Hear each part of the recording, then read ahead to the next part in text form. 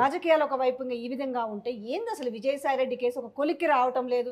ఇంత దరిద్రమైన ఇది ఎప్పుడు కొంచెం ఏపీలో ఎప్పుడు సరిగ్గా ఉండవనుకోండి వార్తలన్నీ కూడా మరీ ఎందుకో రోజు రోజుకు ఇంకా దిగజారిపోతున్న నేపథ్యము. ఆ శాంతికి పుట్టిన కొడుకు ఎవరన్న దాని మీద ఎవరికి సొసైటీకి సమాజానికి అవసరం లేదు. కానీ ఇదే సమాజానికి అవసరం అనే ఒక పోర్ట్రేట్ జరుగుతున్న విధానం. అది ఒక మాట అడుగుతా మిమ్మల్ని అడుగుతున్నా ఏమై ఒక మాట అంటే వచ్చాయన నేను రెడీ డిఎన్ఏ టెస్ట్కు రెడీ డిఎన్ఏ టెస్ట్ అని అంటే పోయేది ఏముంది చేయించుకుంటే తప్పేంటి. ఇదే ఇదే పని పెట్టండి ఇంకా. గవర్నమెంట్లు మారిపోగానే డిఎన్ఏ టెస్టులు పెట్టుకొని ఎమ్మెల్యేలకి ఎంపీలకి ఇదే పని పెట్టుకు కూర్చోండి. పని పడే ఉందా లేదా? ఎందులో పడి చేస్తారు విజయశ్రీ రెడ్డి మనకెందుకు అది చట్టబద్ధమైన పనుల్లో ఏమైనా తేడాలు జరిగితే ఎంక్వైరీలు వెళ్ళండి సిబిఐకి ఇవ్వండి లేకపోతే సిఐడిని అరెస్ట్ చేయమనండి లేదా ఏది చేయమనండి. అది ప్రభుత్వ విధానాలు. పర్సనల్ అఫైర్స్ ఎవరికి కావాలమ్మా? ఎవరికి అది? What way they are connected? Muchumarri ఘటన ఉంది.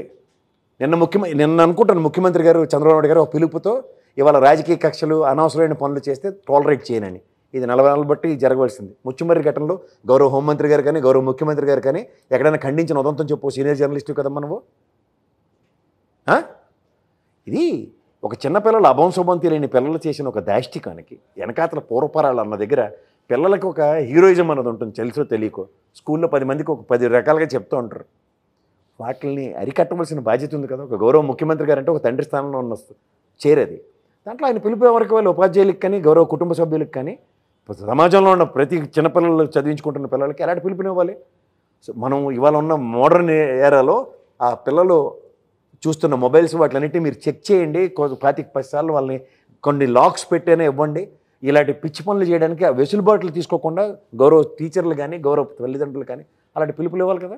ఇవన్నీ ఒక ఎత్తు. రాష్ట్రంలో చెదురుమదురు ఘటనలోనూ ఏవో తీసి పడేస్తారు ఎవరు మన హోంమంత్రి గారు నాలుగు ఘటనలు ఉన్నారు పైపచ్చిన కర్ర పట్టుకుని తిరగాలి అనే దగ్గరికి అన్నారు. ఇదే ముఖ్య అపోజిషన్ లీడర్ లేకపోతే ఇవాళ అపోజిషన్ స్టేటస్ లేని జగన్మోహన్ రెడ్డి గారు ఒక ముప్పై ఆరు రచ్చలు వెయ్యి పైచిలిక ఉదంతాలు నాలుగు వందల తొంభై ప్రభుత్వ ఆస్తులు ఐదు వందల తొంభై ఆరు గవ- ప్రైవేట్ ఆస్తులు ధ్వంసం జరిగి ఇష్టం వచ్చినట్టు ప్రజలు వలసలు పోతున్నారు. ఇవన్నీ చెప్పారు కదా. ఇవన్నీ మనకు చెప్పడం ఒక గౌరవ గవర్నర్ గారికి వెళ్ళి ఆయన రిప్రజెంటేషన్ ఇచ్చారు. తర్వాత అసెంబ్లీ సెషన్ స్టార్ట్ అయ్యాయి. ఇదే గవర్నర్ గారు ఫ్లోర్ ఆఫ్ ద హౌస్లో నిలబడి ఆ స్పీచ్ చదివే బదులు ఆ కంఠస్థ పెట్టింది అప్పచెప్పే బదులు ఫస్ట్ హోమ్ మినిస్టర్ గారికి నిలబడి నేను దీని మీద ఒక డీటెయిల్ ఎంక్వైరీ నాకు కావాలి రేపు సాయంత్రం లోపు నాకు రిపోర్ట్ ఇస్తే నేను ప్రెస్ మీట్ పెడతాను. నాకు అపోజిషన్ లీడర్ ముప్పై ఆరు మీరేమో నాలుగు అని చెప్తారు ఇట్స్ అ కాంట్రడిక్షన్. అని ఆయన ఎందుకు చెప్పడు? మళ్ళీ అదంతా ఏడు చదువుతుండైనా విభజన చట్టంలో చాలా అన్యాయం జరిపింది ఆంధ్రప్రదేశ్కి తెలంగాణకి. మరి తెలియదు. పైపు వచ్చి పద్నాలుగు నుంచి. పంతొమ్మిది దాకా ఒకలాగా ఉంది. ఇప్పుడు బాగోలేదంటే. ఎంత మొన్నటిదాకా మీరే కదా గవర్నర్ ఇప్పుడు కూడా గవర్నర్ మీరే కదా? ఆ ప్రభుత్వం నిజంగా అన్ని దాష్టకాలు చేస్తుంటే మీరు ఏడు చేస్తున్నారండి? యూనివర్సిటీలో అన్నారు. దానికి సంబంధించిన వైస్ ఛాన్సలర్ యూనివర్సిటీలకు ఉండొచ్చు. ఛాన్సలర్ మీరే కదా? అంటే వీళ్ళు దేనికి వస్తుంటారు పనికార పథకంలాగా రిటైర్డ్ పర్సన్స్ అందరినీ మన నెత్తిమీ కూర్చోపెట్టడానికి గవర్నర్ వ్యవస్థలా? ఎవరు రాసి ఇచ్చిన స్క్రిప్ట్లు వాళ్ళు చదవడానిక? నాకు తెలియక అడుగుతాను ఇవన్నీ ప్రశ్నించవలసిన బాధ్యత ఆయనకు ఉంటుందా ఉంటుందా ప్రథమ పౌరుడు ఆయనకే బాధ్యత రావడం మనలాంటి వాళ్ళకి ఏం చేస్తామమ్మా? సింపుల్ కదా. ఒక అపోజిషన్ లీడర్లు ప్లకార్డులు చూపించుకుని గోలాడుతున్నారు ఆగండి కూర్చోండి. నేను హోమ్ మినిస్టర్ అడిగాను. డీటెయిల్ ఎంక్వైరీ నాకు రేపు సాయంత్రంకి వస్తుంది. ఇప్పుడు సెషన్ నేను చదివి మీటింగ్ వినండి. బాయ్కట్ చేసి ఎందుకు వెళ్ళిపోతున్నారు? అని చెప్పవలసిన బాధ్యత ఉండదు. ఎందుకు ఇది ప్రజాధానం దుర్వినియోగం కదా? వాళ్ళు గోల గోల గొల్లి గొల్లి ఆ మొదటి చదివిన మూడు పేజీలు ఆవిడకి అర్థమే కాలేదు. తర్వాత వాళ్ళు బయటికి పోయారు. ఇది రోజు అంతే. అల్లాలు అయితే చింపేసి మొఖం మీద తీశారు మేము చెంపకుండా ఇలాగే వెళ్ళిపోయాం. ఇవి మనకి ఇదేమైనా ఉద్ధరింప? ప్రజాప్రతినిధులే కదా. వాళ్ళ నియోజకవర్గంలో ఎవరికి సమస్యలు లేవా? కాలక్షేపం కార్యక్రమాలు అసెంబ్లీ సెషన్లు. ఆయన తిట్టుకుంటూ ఈయన తిట్టుకుంటున్నాం. ఎక్కడికెళ్తున్నాం మనం? దీనికోసం అట అసెంబ్లీ సెక్షన్స్ రేపు బడ్జెట్. ఇవాళ పదిహేను వేల కోట్లు అప్పిస్తామంటున్నారు. రాజధాని కోసం. రాజధాని పదం తప్ప ఇంకేటి లేదు దాంట్లో. అమరావతి రాజధాని వాళ్ళు చెప్పరు. ఈయన అడగరు. పైపచ్చి పదిహేను కోట్లు అమరావతి డెవలప్మెంట్కి ఇస్తున్నాం అన్నది బ్యాంక్ త్రూగా ఎందుకు లోన్లు ఇస్తున్నారు అన్నది క్వశ్చన్ ఉండదు. అక్కడ ఇరవై మంది పైచీలక ఇరవై మంది దగ్గర ఉన్నట్టుకున్నారు బీహార్లో ఎంపీ ఎంపీలు. ఇక్కడ ఇరవై ఒక్క మంది ఉన్నారు జనసేనతో కలుపుకొని. మనకు వచ్చింది ఏంటి? పదిహేను వేల కోట్లు వాళ్ళకి. ఇరవై ఆరు వేల కోట్ల పైచిలక హైవేలు. డిజాస్టర్ మేనేజ్మెంట్లో దానికి అక్కడ నది ఫ్లడ్లో ఎఫెక్ట్ అయిపోతుంది దానికట అన్నిటికీ ఇచ్చేస్తారట. పర్యాటక రంగం బీహార్ అభివృద్ధి చెందిపోనట గయా కాశీ టైప్లో చేసేస్తారట? ఏం మనకు లేదా? పోనీలే ఇంకా ఏపీ బీహారే బెటర్ తెలంగాణకు అది కూడా గతి లేదనుకో. అంటుంది అదేనమ్మా. వివక్షకు గురైన రెండు రాష్ట్రాలకి మనకు ఆంధ్రప్రదేశ్కి కూడా ఉరిగిపోయింది ఏం లేదు. పోలవరం మీద రెండు వేల పద్నాలుగు నుంచి జాతీయ ప్రాజెక్ట్ అంటే ఎలకేషన్స్ ఏమమ్మా ఈ సంవత్సరం? అండ్ ఇవాళ మీకు విశాఖ రైల్వే జోన్ ఉంది. సికింద్రాబాద్ నుంచి ఆరు నెలల ఓపెన్ చేయమన్నారు. ఇప్పటికి జోన్ ఎలకేషన్స్ ఏవి డబ్బులు? బడ్జెట్లో డబ్బులు పెడితే ఈ ఈ సంవత్సరంలో ఆగస్ట్ తర్వాత సెప్టెంబర్ తర్వాత జూన్ తర్వాత జనవరి తర్వాత జరుగుతాయని చెప్పడానికి. పదేళ్ళు పొద్దుయింది విభజన హామీలట ఆవిడ ఫ్లోర్ ఆఫ్ ద హౌస్లో ప్రామిస్ చేస్తాను తీరుస్తాను. పదేళ్ళ నాటి దాకా దిక్కు లేదు. పదేళ్ళు ఉన్నది ఎన్డీఏ గవర్నమెంట్ మళ్ళీ కొత్త మూడోసారి రోబో ఏదో రోబో సినిమాలో త్రీ వెర్షన్ ఇప్పుడు ఇచ్చేస్తుంటే పదేళ్ళు వెనకబడి మన రాష్ట్రానికి పరిరక్షించేది ఎవరు? ఏం పాపం చేసాం మనం? ఈ తెలంగాణ ఆంధ్రప్రదేశ్ రెండును. ఏం రాజధాని? ఇంకెన్నిసార్లు రాజధాని? మొట్టి మట్టి వచ్చి నీళ్ళు మోహన పోసి అదే అమరావతి అదే ఫస్ట్ శంకుస్థాపన చేసి అదే రాజధాని. ఏంటి వైజాగ్? ఇప్పుడు స్మార్ట్ సిటీస్ ఆ రోజు వెంకయ్యనాయుడు గారు చిన్నపిల్లలు చేసి తిరుపతి ఇక్కడ వరంగల్ అని చెప్పారు. ఆ కథ కంచికి. తర్వాత వెనకబడిన జిల్లాలన్నిటికీ అక్కడ రాయలసీమలో నాలుగు ఉత్తరాంధ్రలో మూడు ఇక్కడ తెలంగాణలో పది జిల్లాలని చెప్పి యాభై ఐదు కోట్లు అన్నారు. ఒకసారి ఇచ్చారు రెండోసారి ఇచ్చింది ఇచ్చినట్టు వెనక పట్టుకుపోయారు ఇప్పటిదాకా దిక్కులేదు మళ్ళీ అట వెనకబడిన జిల్లాలు ఇంక్లూడింగ్ ప్రకాశాన్ని కూడా ఈసారి యాడ్ చేసాం. అంటే ఎచ్చుకొంగ గొబ్బులు అంటారు ఇట్లా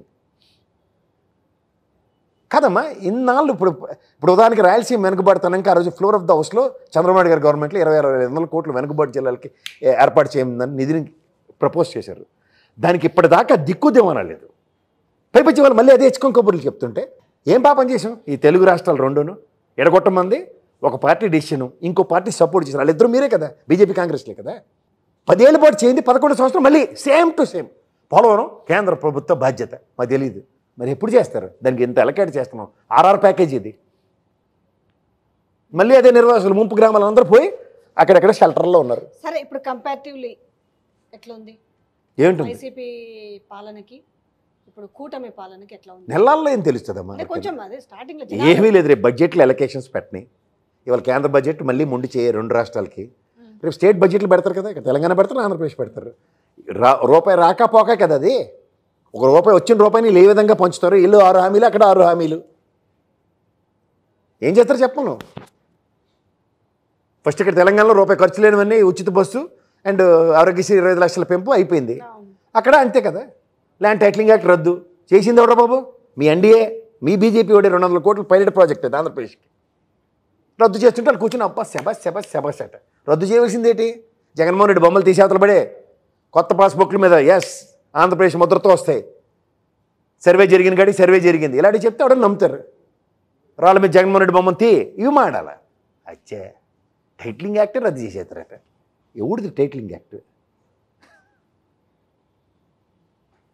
సో ఇంతకు మీరు ఎవరి లైన్ తీసుకున్నారు ఇప్పుడు? ఎవరి లైన్ తీసుకోవాలి? ఎందుకు తీసుకోవాలి? విశ్లేషకుడికి దేనికి లైన్ ఉంటుంది? అంటే అప్పుడు మాత్రం మీరు వైసీపీ లైన్ అవును తీసుకున్నారు తీసుకున్నాను. ఎందుకు తీసుకోవాల్సి వచ్చింది? నేను స్కూల్స్ ఎఫెక్ట్ నాకు నచ్చింది. రెండోది ఆ లగేజ్కొని బీజేపీ పోతుంటే నాకు బీజేపీ సిద్ధాంతాలు నాకు నచ్చవు. విభేదిస్తాను నేను. వాళ్ళు పోయారు కాబట్టి నేను పోవాలని నాకేమైనా రూల్ ఉందా? నేను పార్టీ కండువా కప్పుకుని తిరుగుతున్నాను ఇప్పుడు పార్టీ కండువాలు కప్పుకున్నాడికి అది బలవంత బ్రాహ్మణత్వం ఉంటుంది. చచ్చినట్టు అరే బీజేపీతో పోతే అట్ట పోరా బాబు నువ్వు పోయి ఇతడు కమ్యూనిస్టులతో పోతే పోరా బాబు అయితే ఇంకోళ్ళతో పోతే పోరా. నాకెందుకు అప్లికేషన్ ఉంటుంది? ఎందుకు ఉంటుంది మా అప్లికేషన్ నేను ఎప్పుడు న్యూట్రల్ ఉన్నాను. కానీ ఫస్ట్ టూ ఇయర్స్ నిజంగా చెప్తున్నాను. జగన్మోహన్ రెడ్డి పరిపాలన మొదలవ్వనంత వరకు నేను చంద్రబాబు నాయుడు గారు తెలుగుదేశం గురించి నేను అభివర్ణించిన ఉదాంతలు ఖచ్చితంగా చెప్తాను but once it is got started నేను ఇంకోటి చెప్తున్నాను అవినాష్ రెడ్డి విషయం ఒకటి స్కూల్స్ పరివర్తన విధానంలో నేను ఖచ్చితంగా ప్రభావితం అయ్యాను. నేను చదువుకున్నా జర్నలిజం చదువుకున్నాను నేను వెళ్ళాను.